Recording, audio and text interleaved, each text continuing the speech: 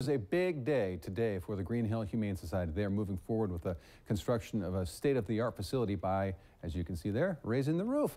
Crews are installing the roof on the first of Greenhill's two new buildings. It's only been four months since Greenhill Humane Society broke ground on this project. The first phase is expected to be done, uh, done next spring. The new facility is going to have lots of new features for the animals.